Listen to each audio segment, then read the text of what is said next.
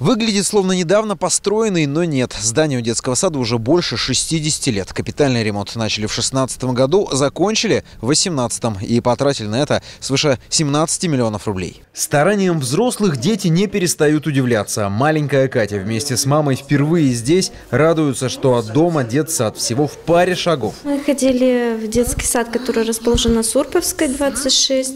Он неудобно до него очень добираться, было далеко, приходилось ездить на автобусе и долго идти пешком. Прогуляться по отремонтированному детсаду, словно побывать на интересной экскурсии. Вот новые кроватки, вот яркие игрушки. Уют создает современный тепловой пункт. Побываешь на кухне и точно пальчики оближешь.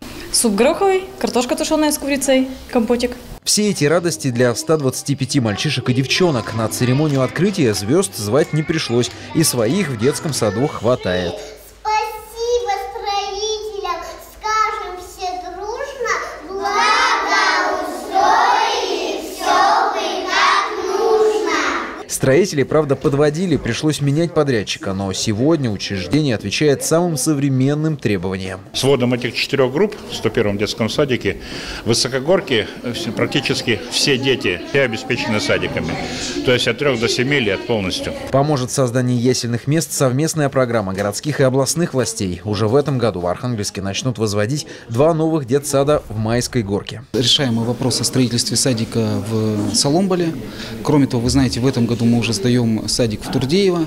Ну и кроме того, у нас есть еще своя муниципальная программа, связанная с реконструкцией э, детских садиков третьих этажей. Тоже на это уже предусмотрены деньги, как на строительство, как и на, так и на реконструкцию. В ближайшие годы на возведение новых детсадов Архангельск получит свыше полумиллиарда рублей. Помимо городской казны, это средства федерального и областного бюджетов.